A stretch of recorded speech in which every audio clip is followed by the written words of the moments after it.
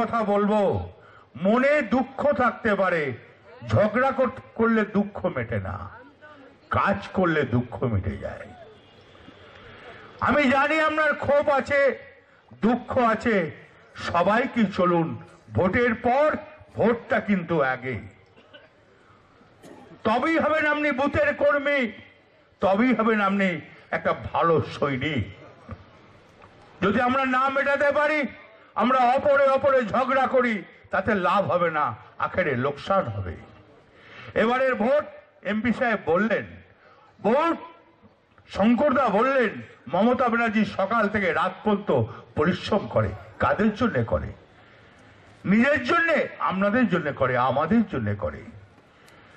তাই বন্ধু, গৌরীদা আছে স্বামী দেখে নেব। শুনুন, প্রত্যেকটি মানুষকে হাত জোর করে বলছি ঝগড়া করবেন না।